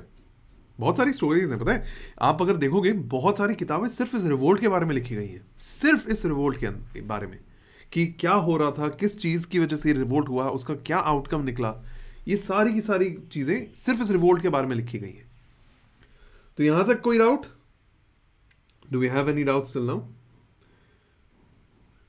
कुछ भी पूछना पूछ सकते हो यार। Like I I told you like हमारे लिए हिस्ट्री कॉन्वर्सेशन की तरह, एक वार्तालाप की तरह है, जहाँ पे मैं बस आपको चीज़ें बता रहा हूँ, आपको समझा रहा हूँ, हो क्या रहा था प्रॉब्लम्स क्या हो रही थी। बाकी देखो नोट्स बनाना, चीज़ों को पढ़ना, वो आप कर लोगे, मुझे पता है। वो एक कुछ हद तक आप लोग कर लोगे राइट तो अगर क्लास पसंद आ रही है तो क्लास को लाइक भी कर देना। और क्लास अपने फ्रेंड्स के साथ शेयर भी कर देना। राइट चले फिर। Okay okay. तो अब बात आती है कि ठीक है रिवोल्ट हुआ। रिवोल्ट के कारण हमने देख लिया। रिवोल्ट में हो क्या रहा था वो भी देख लिया। रिवोल्ट का सप्रेशन भी देख लिया। रिवोल्ट का फेलियर के कारण भी देख लिया। तो इतना सारा होने के बाद एक्चुअली में इम्पैक्ट क्या है इस रिवोल्ट का? जो मेन रिज़ल्ट था वो क्या था? क्योंकि आपको और मुझे पता है रिवोल्ट तो फेल था। रिवोल्ट तो हुआ नहीं। हम ब्रिटिशर्स को भगा नहीं पाए। But this revolt was a turning point ये एक बहुत बड़ा हमारी हिस्ट्री का टर्निंग पॉइंट था, क्योंकि अभी तक क्या हो रही थी, वो जो छोटे छोटे एफर्ट्स वो छोटी छोटी फाइट्स जो हो रही थी, अब वो फाइट एक बहुत बड़ी एंटी ब्रिटिश फाइट में बदल गया था। अब वहाँ ब्रिटेन में बैठे बहुत लोगों को कंपनी से वैसे ही दिक्कतें थी। उनको कंपनी के करप्शन के बारे में पता था कंपनी के ये जो डिस्क्रिमिनेशन होता है, इसके बारे में पता था, और बहुत लोग ऐसे थे जो नहीं चाहते थे कि कंपनी की जो पॉलिसीज़ हैं कंपनी की जो मोनोपली है, वो बरकरार रहे। इनफैक्ट हमने बात करी थी हमारी वो जो कॉन्स्टिट्यूशनल हिस्ट्री की जो क्लास थी कल उसमें उसी में मैंने आपको बताया था कि 1773 में क्या हुआ था वो जो रेगुलेटिंग एक्ट आता है सबसे पहला। 1773 का जो रेगुलेटिंग एक्ट आता है वो आया क्यों था? बिकॉज़ उस टाइम में पहली बार कंपनी ने ब्रिटिश गवर्नमेंट को जाके बोला था कि हमको सर जी आ, हम हमें पता है हम आपको पैसे देते हैं हमें पता है हम बहुत अच्छी कंपनी है बट क्या है ना हमने बहुत सारी वॉर्स लड़नी है तो हमारे पास इतने पैसे नहीं हैं तो आप हमें थोड़ा लोन दे दीजिए। तो जब पहली बार ब्रिटिश ईस्ट इंडिया कंपनी ने वहाँ जाके लोन मांगा तब इनको एक कारण मिल गया देखने का। पार्लियामेंट को इस, उस टाइम पे ब्रिटिश पार्लियामेंट को एक कारण मिल गया देखने का इनके ऊपर इन्वेस्टिगेशन करने का कि इतनी बड़ी कंपनी जो इतना सारा ट्रेड कर रही है जो इतनी वॉल्यूम में ट्रेड कर रही है वो बैंक कैसे हो सकती है? तो उस टाइम पे जब उन्होंने एक कमेटी बिठाई चेक करवाया, ये करप्शन देखा, ये सारी चीज़ें पता चली, तब जाके हमारा सबसे पहला रेगुलेटिंग एक्ट आया था इस कंपनी के कामों को रेगुलेट करने के लिए। रेगुलेट कौन कर रहा था? ब्रिटिश क्राउन ब्रिटिश पार्लियामेंट या ब्रिटिश क्राउन तो उस टाइम पीरियड से धीरे धीरे जब हमारे और चार्टर एक्ट आते हैं रेगुलेटिंग एक्ट आते हैं और वो इस कंपनी को, जो एक ट्रेडिंग कंपनी थी, इसको तब्दील कर देते हैं टुवर्ड्स अ एडमिनिस्ट्रेशन एक प्रशासन की तरफ़ लेके जाने की कोशिश करते हैं और ट्राई करते हैं कितना ज़्यादा कंट्रोल इनके ऊपर डाला जा सके। So by the time we get to the charter act of 1813 and 1833 तब इतनी देर में इनका जो एक अधिकरण था, इनका जो मोनोपली थी, उसको हटा दिया जाता है। और फिर उनको कहा जाता है कि देखो, तुम जो ये लैंड लेके बैठे हो ना British mister British East India company ये सारा का सारा लैंड तुमको ब्रिटिश एम्पायर ने रखवाली के लिए दे रखा है। तो जब पहली बार ये चीज़ बोली गई, उस टाइम पीरियड पे ये चीज़ क्लियर हो गया था कि आज नहीं तो कल ब्रिटिश ईस्ट इंडिया कंपनी से ब्रिटेन जो है, खुद जो कंट्री है, वो इनसे ये पूरा का पूरा जो एरिया है, जो इंडिया का जो लैंड है इंडिया की जो कॉलोनी है, वो अपने हाथों ले लेगी और अपने नाम कर लेगी। तो उनको बस एक छोटी सी कारण की ज़रूरत थी और वो छोटा सा कारण उनको हमारी ये अठारह सो एटीन फिफ्टी सेवन की क्रांति में मिलता है। राइट अठारह की क्रांति में वो कारण उनको मिलता है। और यहीं से हम उस इम्पैक्ट को देखना शुरू करेंगे। Now the government of India act 1858 transfer the power of Indian government from the East India company to the crown in in the words of H S Cunningham वो कहते हैं कि ये जो ट्रांसफ़र था, ये काफ़ी हद तक एक चीज़ जो ऑलरेडी चली आ रही थी, उसको बस फॉर्मल कर दिया गया। ठीक है? कोई बड़ी चीज़ नहीं थी, कोई सब्सटैंशियल चीज़ नहीं थी, औपचारिक चीज़ नहीं थी, इसको औपचारिक चीज़ थी। ये, इसको बस फॉर्मेलिटी के हिसाब से बता दिया गया कि अब से ये क्राउन के अंडर है, क्योंकि अभी तक जितना भी काम होता हुआ आ रहा था ऑलमोस्ट वो क्राउन के अंडर ही होता हुआ आ रहा था। वो British British East India company की अपनी जो मोनोपली थी, वो रही नहीं। अब इंडिया के अंदर क्या होता है? In India no particular change is made and ये था मेन चीज़। ये आप लोगों ने अगर आपको फेसबुक के बारे में पता है फेसबुक जो हमारी कंपनी है ना फेसबुक के बारे में आप लोगों को पता होगा। तो फेसबुक पहले तो सिर्फ़ वो एक छोटा सा वो कंपनी हुआ करती थी जो वो फेसबुक जिसने वो फेसबुक बनाया था। बट फिर फेसबुक ने क्या किया? अपने अंडर और भी चीज़ों को ले लिया, जैसे इंस्टाग्राम को ले लिया व्हाट्सएप को ले लिया। तब भी वो कंपनी फेसबुक ही कहलाती थी। तो फिर जब फेसबुक के ऊपर बहुत सारे ऐसे आरोप लगने लगे प्राइवेसी के, आरोप लगने लगे लोगों के ऊपर जासूसी करने के, आरोप लगने लगे कि तुम लोगों का डेटा शेयर करते हो, उनको जानबूझ के गलत चीज़ें दिखाते हो। ये सारे जब आरोप लगने लगे ना तो वो लग रहे थे फेसबुक के ऐप के ऊपर। तो फेसबुक जो कंपनी थी, उन्होंने सोचा कि क्यों ना हम एक काम करते हैं, हम अपना नाम चेंज कर लेते हैं। हम नाम चेंज करके अपने आप को बुलाएँगे अब मेटा हम अपना नाम चेंज करके बन जाएँगे मेटा और हमारे अंडर फिर ये फेसबुक भी आ जाएगा, और इंस्टाग्राम भी आ जाएगा, और हमारे अंदर व्हाट्सएप भी आ जाएगा। तो कभी अगर प्रॉब्लम फेसबुक के ऊपर होगी तो हमारी जो बड़ी कंपनी है मेटा इसके ऊपर नहीं आरोप लगेंगे, वो फेसबुक के ऊपर लगेंगे, हम फेसबुक को संभाल लेंगे।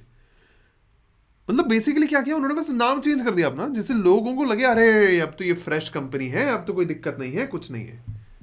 ये ब्रिटिश गवर्नमेंट ने भी वही किया। नाम चेंज करके उन्होंने बोला कि नहीं नहीं नहीं, वो जो इतना सारा जो प्रॉब्लम हुआ था, वो तो ब्रिटिश ईस्ट इंडिया कंपनी की वजह से हुआ था। हम तो क्राउन है, हम तो ब्रिटिश क्राउन है, हम तो पैरामाउंटसी हैं हम तो राजा हैं यहाँ के, हम तो नए लोग हैं ना, हम तो अब तो अब तो अब तो आपका जो ग्रिवांसेस हैं, जो प्रॉब्लम्स हैं, वो नहीं रहेंगे। अब वो चेंज हो जाएगा। हम दुनिया पलट देंगे, हवा पलट देंगे, सब पलट देंगे, सब चेंज हो जाएगा। ये आइडिया था उनका, क्योंकि उन्होंने ना ही प्रशासन चेंज किया, ना ही कोई अंदर का जो सिविल या मिलिट्री कोई चेंजेस हैं, वो चेंजेस लेके आए। बहुत छोटी छोटी इधर उधर की नाम की चेंजेस करके बस ये कर दिया कि ब्रिटिश ईस्ट इंडिया कंपनी को हमने हटा दिया एज अ पनिशमेंट और फिर हम क्राउन के अंडर हैं अब क्राउन के अंडर किसी को कोई दिक्कत नहीं होगी। कोई दिक्कत नहीं होगी। ऐसा कहने लगे ये हमारे ब्रिटिश लोग। ये हो गया इनका आइडिया हमारे यहाँ पे बेसिकली चीज़ों को आ, सही करने का। हम देखते हैं that the act of 58 in the United Kingdom provided for the appointment of secretary of state एक नया पोस्ट बनाया गया जिसका नाम था secretary of state who would be assisted by a 15 member advisory council और ये काउंसिल के अंदर आठ लोग होंगे जो क्राउन खुद नॉमिनेट करेगा और सात लोग होंगे जो कोर्ट ऑफ़ डायरेक्टर जो अभी तक जो मेन गवर्निंग बॉडी होती थी हमारी ईस्ट इंडिया कंपनी की कोर्ट ऑफ़ डायरेक्टर्स वहाँ से आएँगे और बाद में इसके बाद से जो भी नए अपॉइंटमेंट्स होंगे, वो इस एडवाइजरी काउंसिल से निकल के आएँगे। एडवाइजरी काउंसिल के एडवाइस पे निकल के आएँगे। तो एक नया पोस्ट बनाया सेक्रेटरी ऑफ़ स्टेट का, जिसको बताया गया कि आपका एक ही काम रहेगा डेडिकेटेड काम रहेगा कि इंडिया से रिलेटेड जितनी भी प्रॉब्लम्स हो रही है, आप देखोगे। इधर जो गवर्नर जनरल था, उसको वाइस रॉय बना दिया गया। कि इंडिया के अंदर जो मेन पर्सन रहेगा, वो वाइस रॉय रहेगा और ये वाइस रॉय और सेक्रेटरी ऑफ़ स्टेट मिलके देखेंगे इंडिया के अंदर का चाल चलन क्या है, क्या हो रहा है, नहीं हो रहा है। और ये जो चीज़ थी this was basically the end of what started in 1773 या 1784 1773 से जो कंट्रोल करना स्टार्ट किया था, उसका कंक्लूजन था ये। जो ब्रिटिश ईस्ट इंडिया कंपनी के ऊपर जो कंट्रोल करना स्टार्ट किया था हमारे इन लोगों ने ब्रिटिश क्राउन ने, उसका कंक्लूजन था ये कि फाइनली अब सब के सब लोग हमारे अंडर आ चुके हैं। उसी के साथ साथ क्वीन ने बोला, वहाँ पे जो हमारी रानी थी, उन्होंने बोला कि अब से कोई भी टेरिटोरियल पोजेशन नहीं किया जाएगा। किसी भी राज्य के ऊपर, किसी भी क्षेत्र के ऊपर ब्रिटिश जाके अटैक करके उसको अपने अंडर नहीं लेके आएगी। सबके राइट्स को माना जाएगा। जिन लोगों ने भी कोई प्रॉब्लम की है, जिन लोगों ने भी ये जो हमारा रिवोल्ट है वो किया है उनको भी माफ़ी दे दी जाएगी एक्सेप्ट उन लोगों को जिन्होंने किसी मतलब किसी ब्रिटिशर्स का कत्ल ना किया हो। जिनको जिन्होंने किया है उनको तो पनिशमेंट मिलेगी ही। बट सबको एज इक्वल देखा जाएगा जो ऑब्वियसली इन पेपर था। ये सबको इक्वल देखा जाएगा वाएगा ये ऐसा कुछ भी नहीं होने वाला था। Right we see that the proclamation of 58 contained an assurance that our subjects of whatever race, creed, be freely and impartially admitted to the office of our services and the duties to which may be qualified by their education. So पहली बार इन्होंने बात करी 1858 में कि India के governance के अंदर हमारी सर्विसेज़ के अंदर अब इंडियंस को भी लिया जाएगा सबको लिया जाएगा basically without any problem of race और क्रीड बेस्ड ऑन मेरिट कि एग्जामिनेशन आपका लिया जाएगा और एग्जामिनेशन में अगर आप पास होते हो तो आपको सिविल सर्विसेज़ के अंदर डाला जाएगा। और इसी के थ्रू हमारा 1861 में जब सिविल सर्विसेज़ का रिफॉर्म किया गया, तब हुआ। बट ऑब्वियसली आपको और मुझे पता है कि ऐसा तो नहीं था कि दिल्ली में एग्ज़ाम ले रहे थे एग्ज़ाम ले रहे थे ये लंडन में। मतलब चाहते थे कि इंडियन लोग जाएँ लंदन जाके वहाँ एग्ज़ाम दे के आए। आप अपने सेंटर जाते हो एग्ज़ाम देने।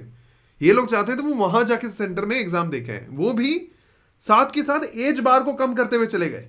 बाईस, इक्कीस अट्ठारह जिससे जो इंग्लिश लोग हैं, उनको तो एकदम छोटी एज से सिखाया जा रहा था। ब्रिटिश, लैटिन, ये लैंग्वेज सिखाए जाते थे वहाँ पे। हमारे इंडियंस को कहाँ से मिलेगा?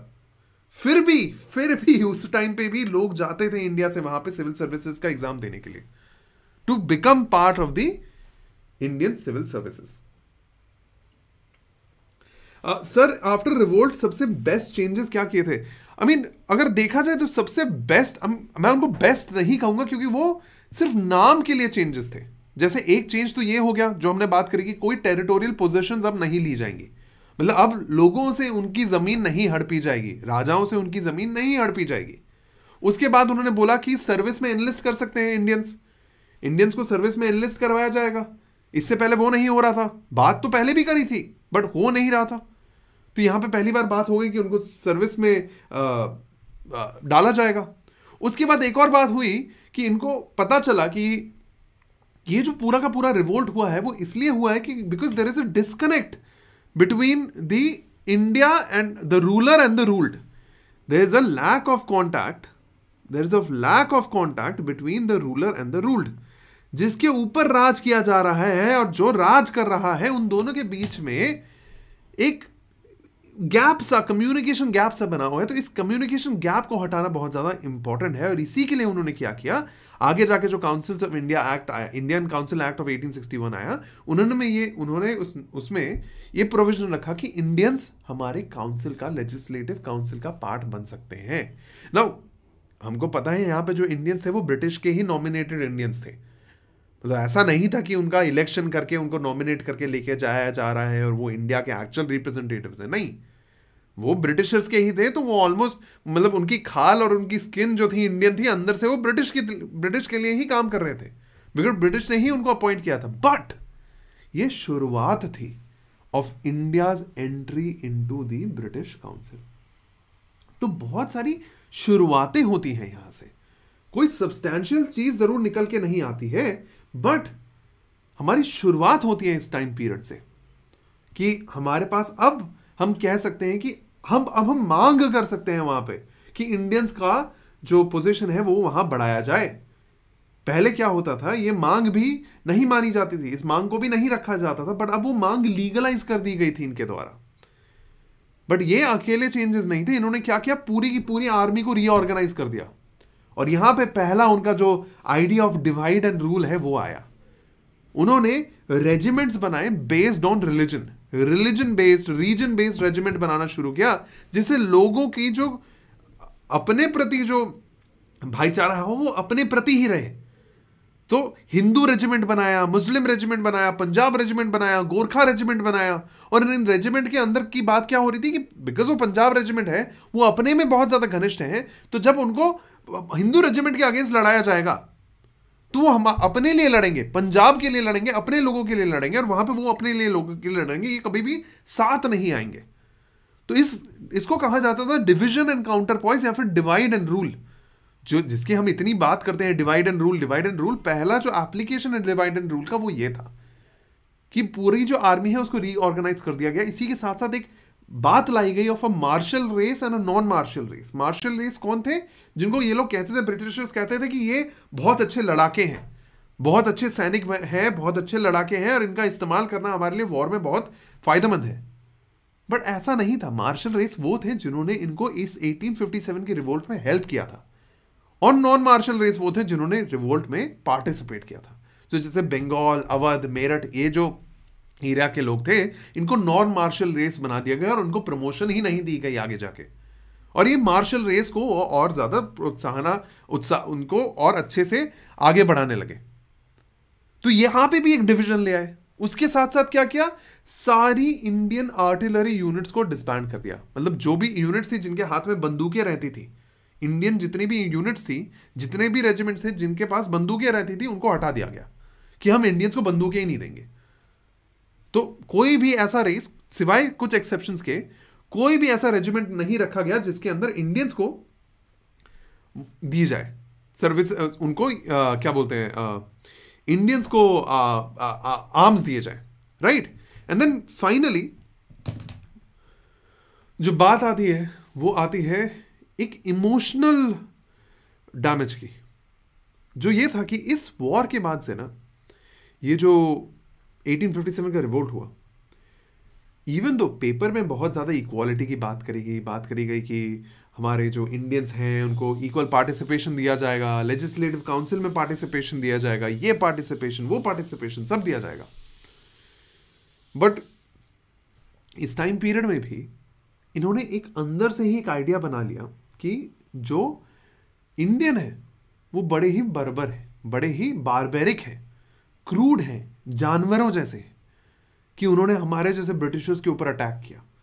हम जैसे लोगों के ऊपर ऐसे अटैक किया, ऐसे बर्बरता की। ये कहीं नहीं बताया गया कि इंडियन जो लोगों को पनिशमेंट दी जा रही थी, उनको तोपों के सामने खड़ा करके उड़ा दिया जा रहा था। इनकी कार्टून्स को बना के न्यूज़पेपर में सर्कुलेट कराया गया और वहाँ के लोगों ने, बहुत सारे लोग थे बहुत, जो बहुत खुश हो रहे थे इस चीज़ को लेके कि हाँ Indians deserve this Indian deserve करते हैं ऐसा। उनके साथ ऐसा ही करा जाए। वो बंदरों की तरह बंदर है वो लोग। अनसिविलाइज लोग हैं। और ये जो है रेशियल डिवाइड ये नस्ल के ऊपर की ये जो डिवाइड है, ये और ज़्यादा बढ़ा दी गई। ये और ज़्यादा बढ़ गई। नीची नज़रों से देखा जाने लगा हर इंडियन को, हर पार्टिसिपेंट को, चाहे वो हमारी ब्रिटिश एडमिनिस्ट्रेशन में काम करे, कहीं पे भी काम करे। बड़े ही नीची नज़रों से देखा जाने लगा उसके ऊपर। तो ये जो रेशियल डिवाइड था, ये आगे और ज़्यादा बढ़ेगा और ये आगे और ज़्यादा प्रॉब्लम्स क्रिएट करेगा। ये कार्टून बनाया गया था पंच करके एक मैगजीन है। उसके अंदर ये कार्टून बनाया गया था। ये जो दर्शाया जा रहा है, वो ये दर्शाया जा रहा है कि इंडियंस ऐसे हैं। इस गोरेला जैसे हैं। Right so this was their idea और ये सर्कुलेट किया गया था हर जगह पे। ये न्यूज़पेपर देखो, ये न्यूज़पेपर है आपका May twenty fifth eighteen sixty one का।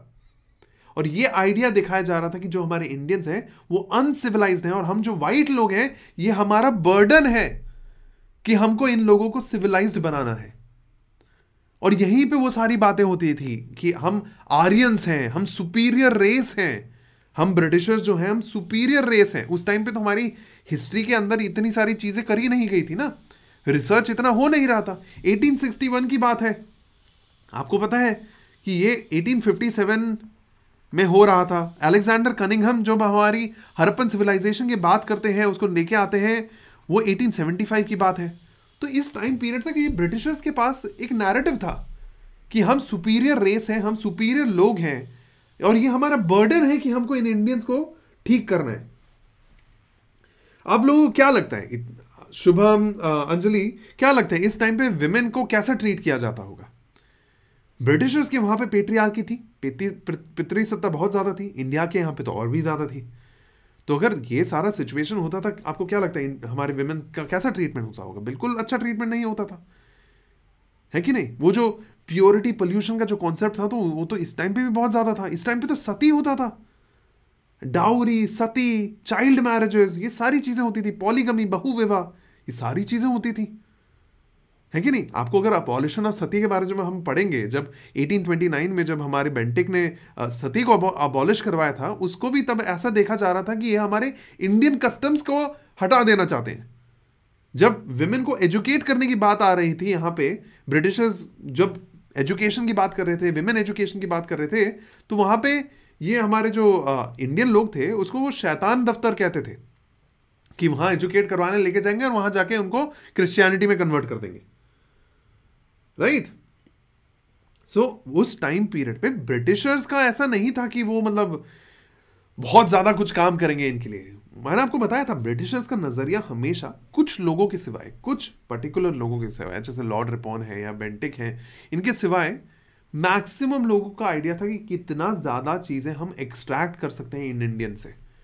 कितना ज़्यादा लाभ उठा सकते हैं हम इंडियंस का, कितना ज़्यादा रिसोर्सेज यूज़ कर सकते हैं हम इंडियंस के। So that was the idea so even though उन्होंने कुछ कुछ छोटी मोटी चीज़ें करी होंगी बट उसको भी हम एज अ एग्ज़ाम्पल नहीं देख सकते कि ये लोग प्रोग्रेसिव थे या हमारे लिए कुछ करना चाहते थे, नहीं करना चाहते थे, नहीं। इनको नहीं फ़र्क पड़ता था। कहीं कहीं पे कुछ कुछ जगहों पे इन्होंने कुछ कुछ चीज़ें करी। बट ये भी वही लोग हैं जो इतना ज़्यादा टैक्स लेते थे कि हमारे यहाँ पे भुखमरी होती थी। फैमिन पड़ता था। वो भी याद करो। ये ब्रिटिशर्स वही थे जब इनके पास अपने कॉफर्स में खाना था। इमरजेंसी के लिए राशन थे जो उन्होंने नहीं बांटे।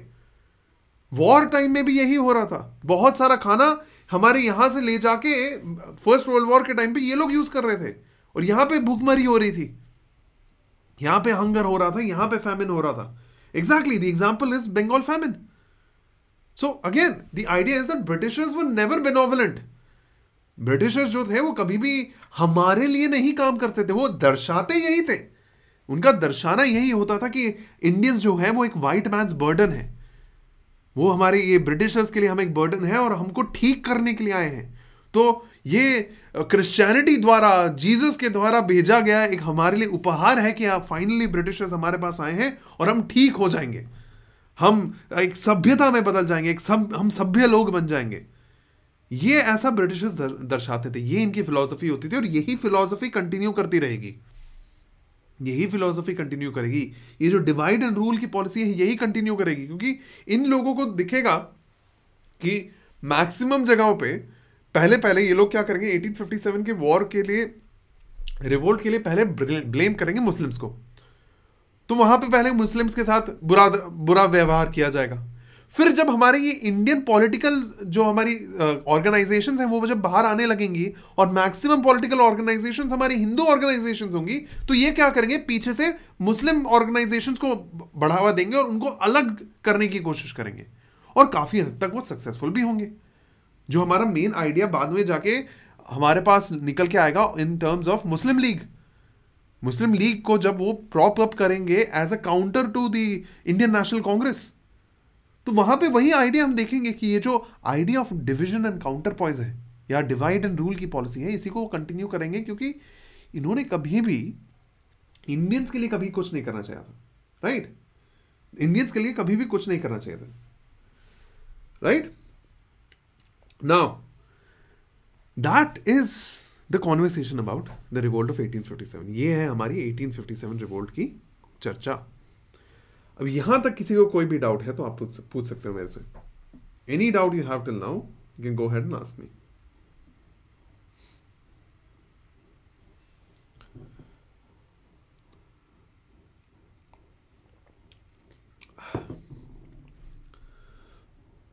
perfect class को भी लाइक कर देना क्लास को भी शेयर कर देना.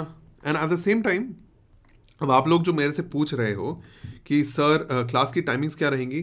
देखो, अभी क्लास की टाइमिंग्स जो भी होंगी, मैं वैसे भी आपको टेलीग्राम चैनल पे अनाउंस करता रहूँगा।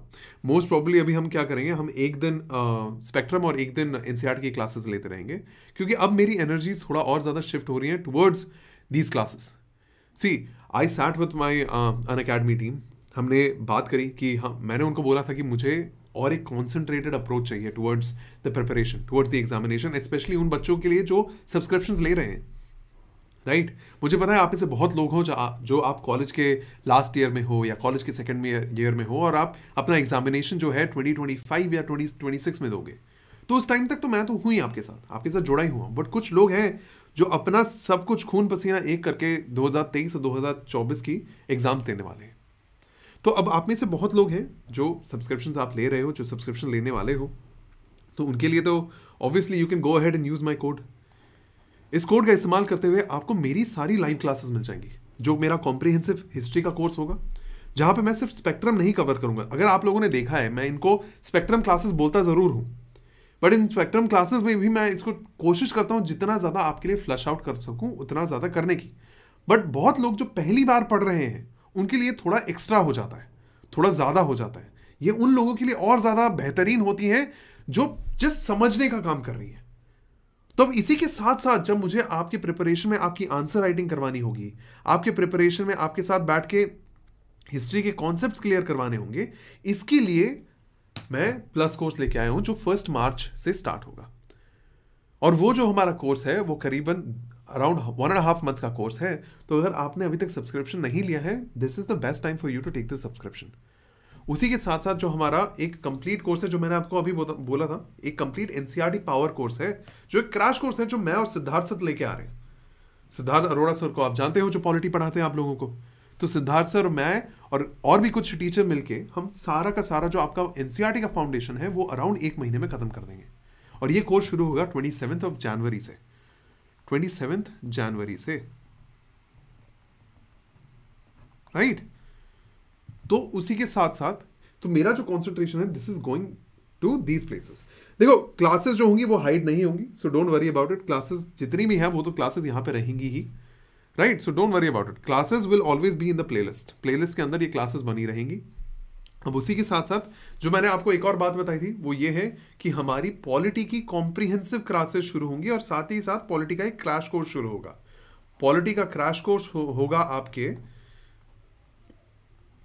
यूट्यूब पे।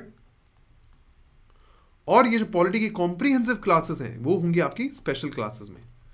और ये जो पॉलिटी की जो कॉम्प्रीहेंसिव क्लासेस हैं, यहाँ पे हम पूरी पॉलिटी को समझते हुए पढ़ेंगे। Right right? पूरी पॉलिटी को हम समझते हुए पढ़ेंगे, सुभाष कश्यप से पढ़ेंगे। कोई ऐसे रैंडम बुक नहीं, ये तिगड़म विगड़म कुछ नहीं। आपने मेरे साथ एम करे हैं, आपने मेरे साथ डिस्कशंस करी हैं। आपको पता है, अगर मैं लेके आऊँगा तो प्रॉपर चीज़ लेके आऊँगा। तो ये most probably twenty first twenty second से स्टार्ट हो जाएँगे।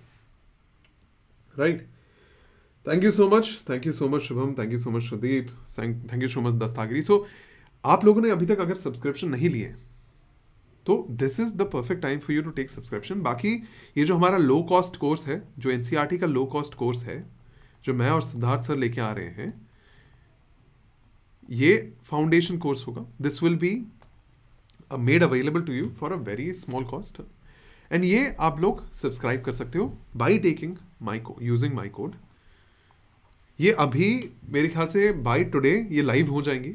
आपको इसका शेड्यूल मैं आज ही रात को अगर जैसे ही अवेलेबल होगा, आपको अवेलेबल करवा दूँगा।